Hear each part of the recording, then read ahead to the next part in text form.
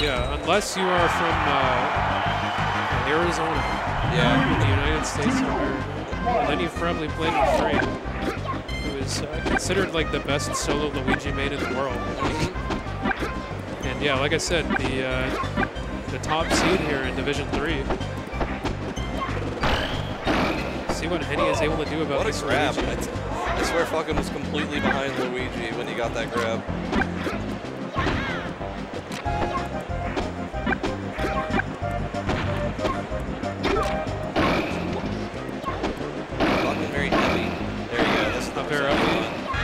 Fast fall. The Yes. op's still extended, but then doesn't extend it as long as he could have. An extra up there. An odd amount of extension on that. Medium extension.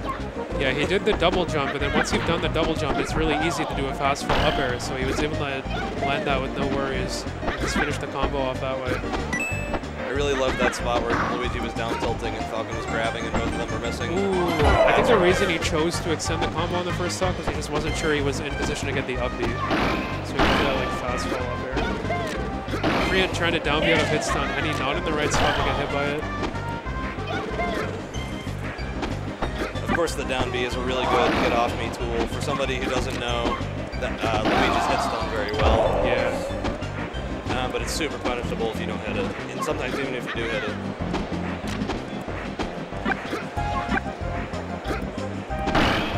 And he's trying to drop down on Freean, but he's ready for it. It's impossible tilt. to not try to grab Luigi there. Yeah. Just get down tilted. And yeah, Freean is so aware of that. He's seen that dash grab a million times. Yeah. He knows exactly how to stuff it out. And when Luigi down tilts you, it's so hard to get away from the follow-up grab that comes after, unless you're at that percent, and then you can just hit him like before he's even allowed to move. Look at the up air landing out of hit stun. Freean caught a piece of Heny's shield there. Got some pressure going. If you don't know how to fight Luigi, it's just so unintuitive and weird. Yeah, it's a very different game. Especially if you're like a Falcon who's used to just, you know, getting Yeah. punishes off without needing to be like super precise. Exactly, and, and this matchup, you're not looking for up air to up B. Luigi's too floaty.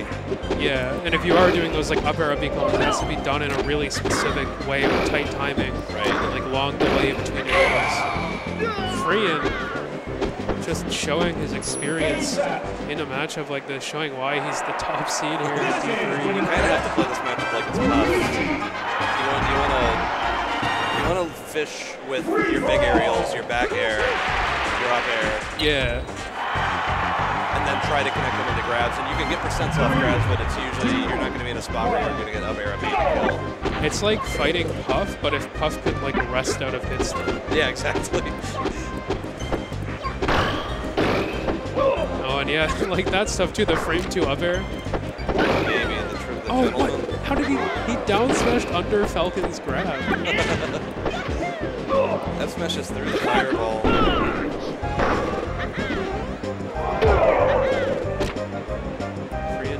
First stock there. I think he might have done a time cancel, I'm not sure. Great DI to avoid the spike there. Pivot up air does work here.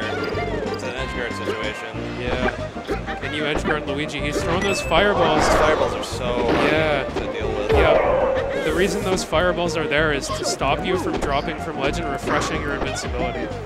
He throws them preemptively, and they just get there at the perfect time to mess you up. And Freean looking for a four stock here in game two.